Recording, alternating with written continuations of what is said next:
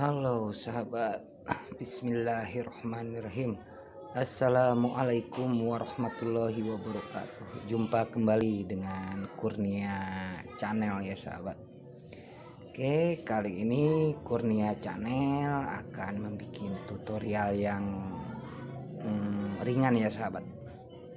Karena kebetulan di Kurnia Channel ini lagi sepi orderan servisan ya sahabat. Kali ini kita akan membahas tutorial ringan tapi sangat bermanfaat.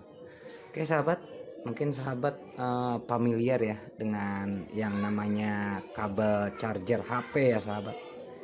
Ini yang sering pasti banyak digunakan oleh sahabat. Sering kejadian kayak begini ya sahabat nih. Si kabelnya itu ngelupas kalau enggak dia putus ya sahabat. Ini jangan dibuang dulu ya sahabat. Kenapa? Karena ini sayang apalagi kalau ini bawaan si HP-nya ini masih original ya sahabat. Dan kalaupun beli ya lumayan mahal. Tapi mungkin sahabat kalau yang belum tahu mungkin hanya dengan bermodal seribu rupiah sahabat akan mempunyai uh, kabel casan original seperti baru sahabat.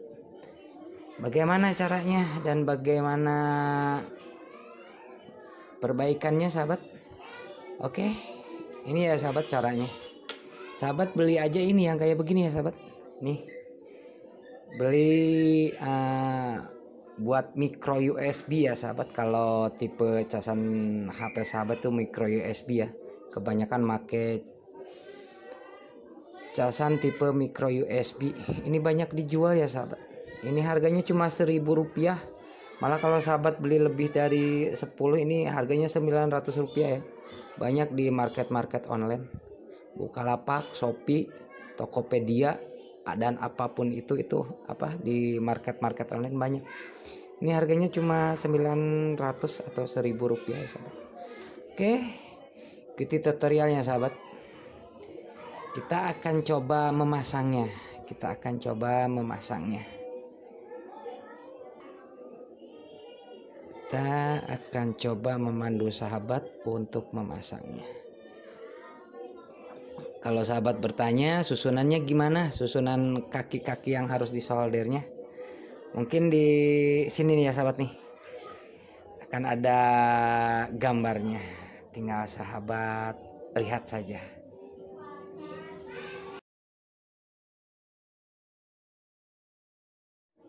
Baik sahabat, pertama-tama kita bawa casanya dulu yang sudah rusak ya sahabat. Ini tadi yang micro USB nya udah kita tempelin di sini. Selanjutnya akan kita gunting ya sahabat. Kita gunting si kabelnya tadi yang udah jelek. Perlahan ya sahabat. Kita gunting.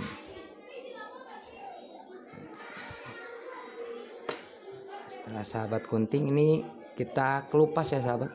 Tapi jangan terlalu panjang. Biar nanti pas dimasukinnya itu enggak keluar dari uh, rumah jacknya. Yang kabel serabutnya kita pinggirin ke pinggir. Ini ya sahabat nih bedanya. Kalau yang original sama yang biasa. Kalau original biasanya di pinggir-pinggir itu ada kabel serabut ya.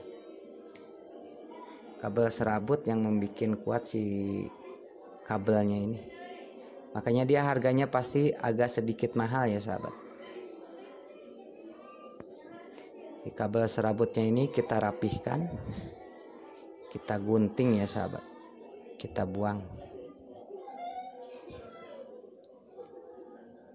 Oke setelah tadi kita skip biar nggak terlalu memakan durasi. Ini kabelnya kayak begini ya sahabat. Kita rapihin si kabel-kabel uh, yang serabutnya ini kita guntingin ya sahabat. Ini penampakannya. Nah sahabat ini jangan bingung ya. Ini kan di gambar yang Kurnia Channel tampilkan ini. Ada merah hitam putih sama hijau ya sahabat. Nah sedangkan di sini nggak ada ya sahabat warna hitamnya. Nah ini jangan bingung. Kita lihat ini bukan dua-duanya warna putih ya sahabat. Ini ada yang warna abu putih sama hijau nih. Ini abu ya sahabat. Ini merah. Nah, sahabat untuk nyari yang hitam itu kan di gambarnya kan hitam ya sahabat. Hitam. Warna hitam ini enggak ada. Jadi yang hitamnya itu jadi abu ya sahabat yang warna abu. Sahabat bisa membedakan antara putih dan abu ya sahabat. Nih ini yang abu sahabat. Yang abu nah jadi gantinya warna hitam itu pakai yang abu ya sahabat.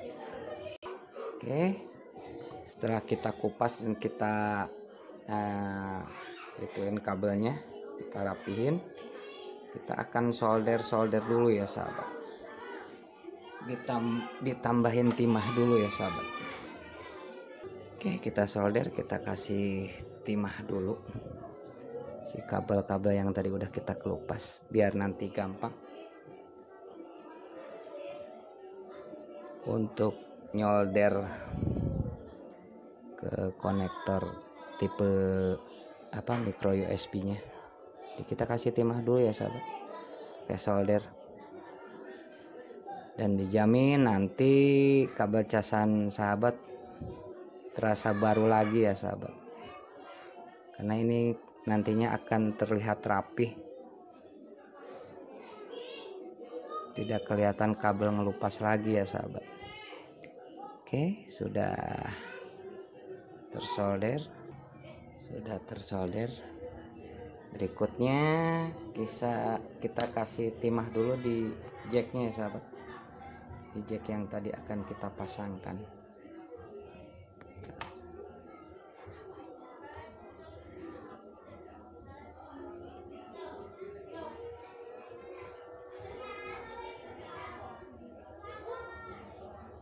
jangan terlalu banyak timahnya ya sahabat.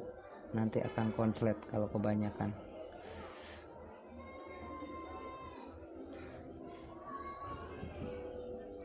Kalangan kamera sahabat. Kita nyoldernya terhalang kamera. Dan susah oke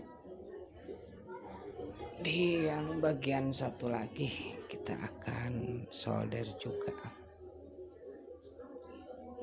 Kita akan kasih timah juga. Biar nanti dalam pemasangan kabelnya itu gampang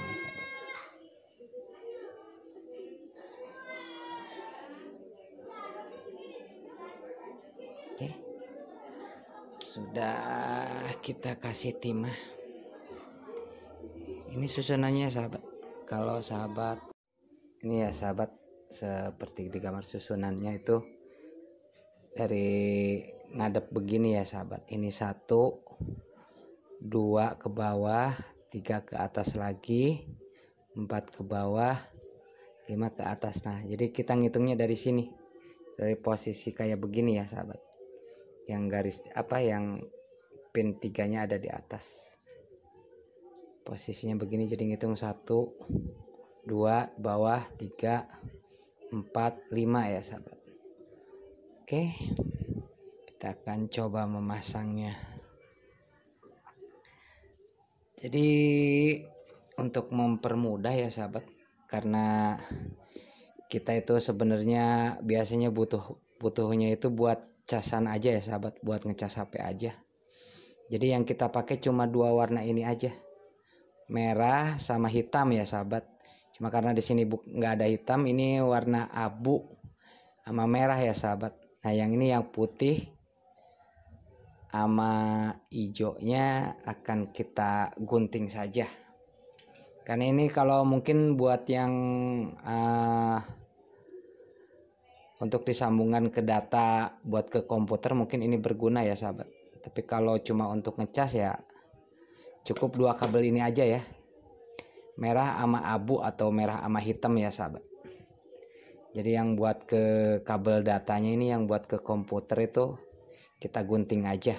Karena mungkin banyak dari rekan sekalian ya itu nggak digunakan. Tapi untuk yang membutuhkannya tinggal kita apa pasangin aja. Sesuai gambar tinggal diikutin Oke, yang nomor satu kita pasang warna merah di sini ya sahabat nih. Warna merah. Warna merah. Nomor satu.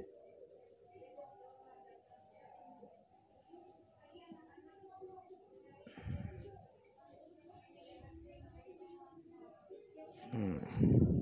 Sama yang hitam atau abu itu di nomor lima ya sahabat satu di atas dua tiga empat ke bawah lima. Berarti di pinggir-pinggir sama pinggir aja ya sahabat. Dipakainya pinggir sama pinggir aja. Itu yang dipakai buat setrumnya aja. Jadi yang merah buat positif yang hitam atau abu itu buat negatif ya sahabat. Tinggal sahabat solderin ini aja dua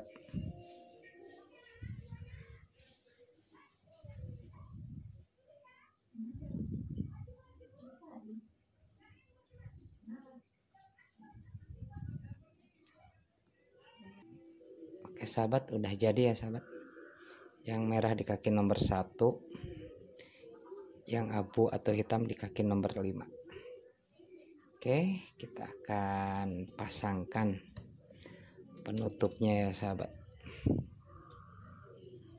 Kita akan lepas.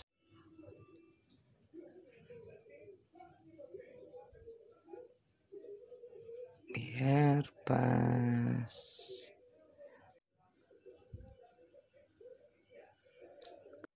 Oh, langsung terkunci. Dan ini kuat ya sahabat.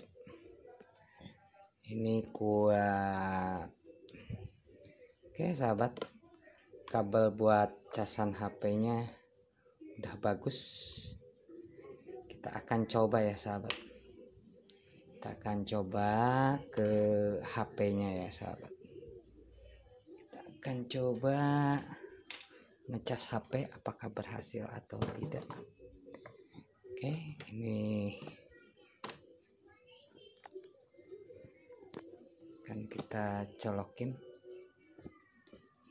ke HP-nya apakah pergantian cek micro USB ini untuk ngecas HP berhasil? Kita lihat sahabat